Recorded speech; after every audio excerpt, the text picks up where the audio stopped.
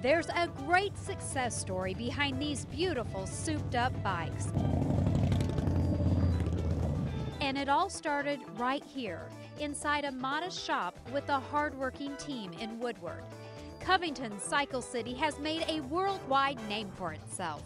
We do anything from uh, service work all the way up to full radical custom builds.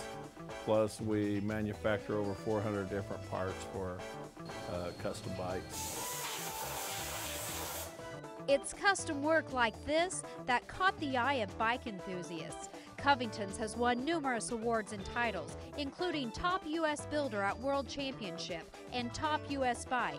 Covington's work has been featured in numerous magazines, graced more than 50 covers, and of course has been called on by several celebrities.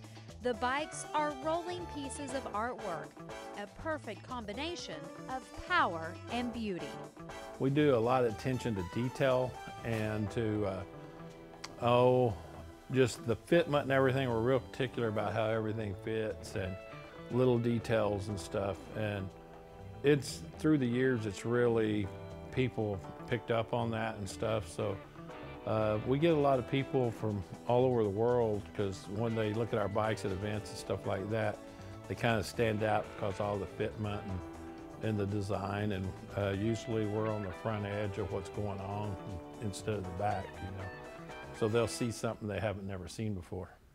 We do just about anything to them. Some guys bring their bi bikes in just to have us do the long stretch bags and stretch rear fender and stretch the gas tank maybe. Some of them bring it in so we can rake the front end, put the big front wheel on. And some guys just come in, like I said, and have us just start with a brand new bike and build the whole thing. Or uh, a lot of times they'll just ship us their bike and we'll build that whole bike from stock to one of these. A custom bike like this beauty takes about two to three months to build, but the more radical the bike, the more time it takes, four, or five, even six months.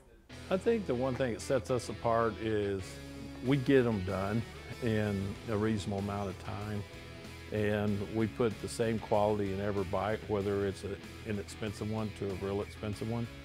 Uh, may not have as much stuff done to the more expensive ones, but they all got the same quality in them. And I think that's what really sets us apart.